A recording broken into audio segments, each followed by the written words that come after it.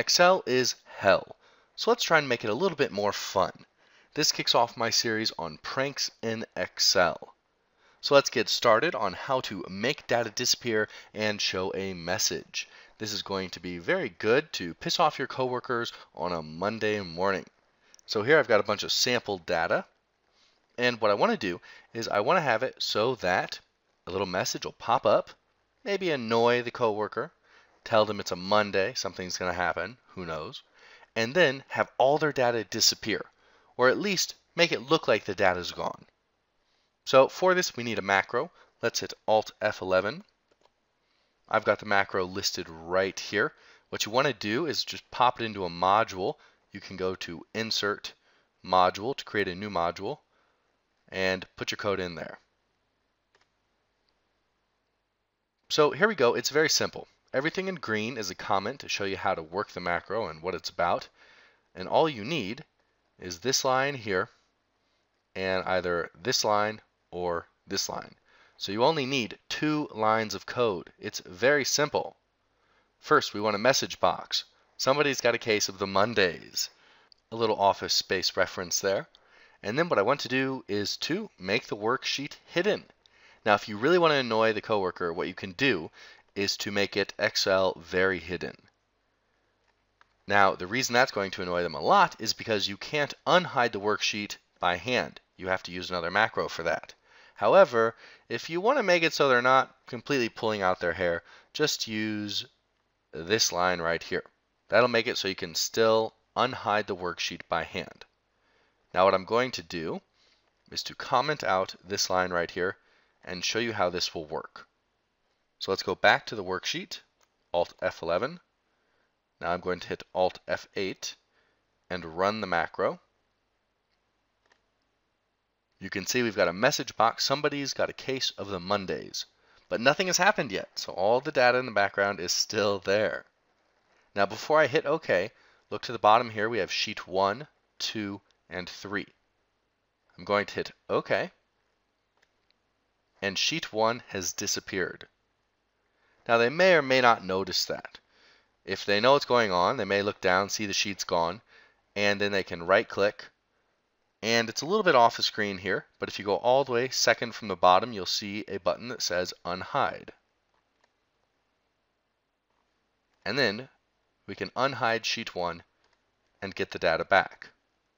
So this is the nice way to hide your data because the user can still get it back using the mouse. Let's go back to the macro remove the comment here and add the comment here. If the line has been commented out, it will not work. Now we'll get the same message box, but this time it's going to be very hidden. Alt F11 to go back to the worksheet. Now let's run the macro. Alt F8, run, same message, okay. Sheet is hidden, right click. The same selection that said unhide is now grayed out. I simply do not have that option. I cannot click the little button that makes the pop-up window appear that says Sheet 1 Unhide. So what am I going to do? This is something that could really drive your coworker just crazy. So if I go back to the macro, I'm going to now show you the only way to make the worksheet come back. So thankfully, I've included the option down here for how to make it come back. It is pretty much the same thing as this up here, but with a dot visible equals true. Let's go back to the worksheet, Alt F11, Alt F8, run. It'll come up with a message box again. And then we've got sheet one. So there you go, and that's a very simple way to uh, play a little trick on one of your coworkers.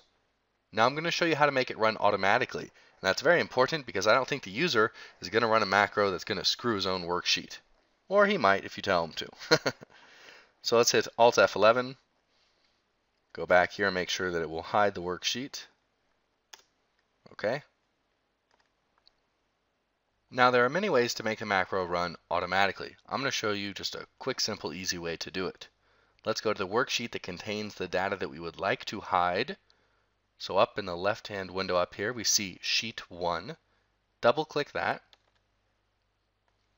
go here where it says General, just go to Worksheet, and this is what we want, Private Sub Worksheet Selection Change. Now if that doesn't automatically appear, you can type it in by hand if you want. The next thing is we want to type call space and then the name of this macro right here. So what is contained after the word sub but before the parentheses? So the macro is Excel prank disappearing data 1. Now this is saying that whenever something is selected within the worksheet, this macro right here is going to be called, basically just meaning the macro will run. So hit Alt F11 to go back to the spreadsheet. Now just click anywhere within the spreadsheet. Notice I can move the mouse, nothing happens, but the second that I select another cell, the macro runs. And there you go. Let's unhide that.